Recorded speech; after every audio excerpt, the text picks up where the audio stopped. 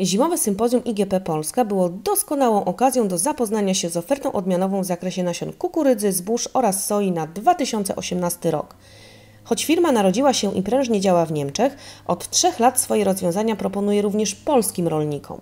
Äh, Wir bringen Sorten, die ganz speziell auf äh, Trockenresistenz äh, auch gezüchtet sind. In Polen hat man einen sehr, sehr hohen Anteil an leichten Böden äh, und äh, wo, man, wo auch das Wasser immer wieder ausgeht. Und das ist ein ganz wesentliches Zuchtziel, äh, was wir hier in Polen verfolgen.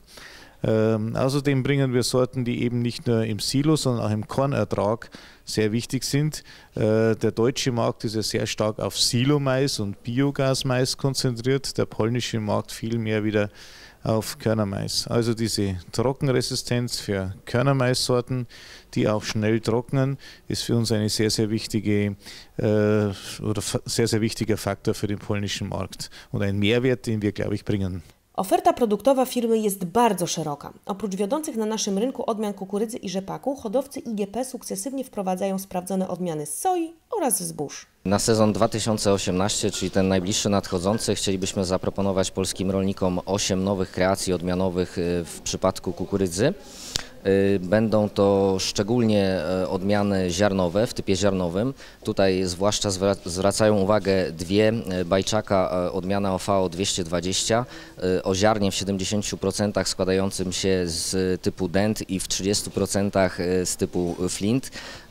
Jest to bardzo ciekawe, ponieważ nie ma zbyt dużo odmian o, o takiej charakterystyce dostępnych na rynku. Jednocześnie odmiana, która uzyskała do 13,2 tony z hektara suchego ziarna w badaniach PZPK w roku 2017, co przełożyło się finalnie na 101% wzorca w oficjalnych badaniach PZPK 2017.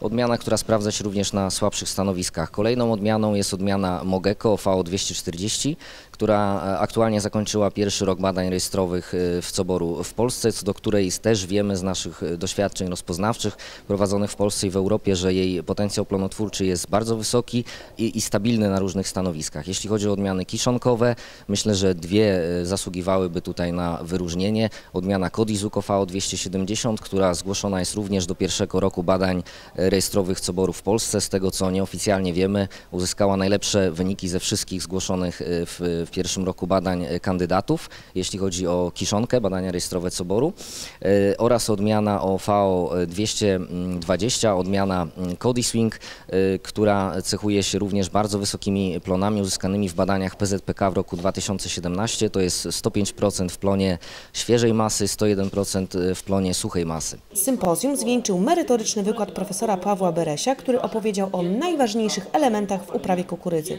Zaznaczył, jak niezmiernie ważny jest dobór odpowiedniej odmiany pod dany region i stanowisko.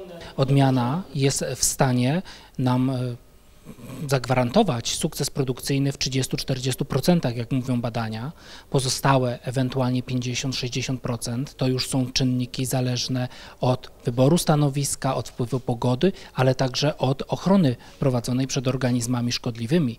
Wobec tego e, mamy bardzo duży wpływ poprzez samą odmianę na e, opłacalność prowadzonej produkcji, na uzyskiwane efekty produkcyjne.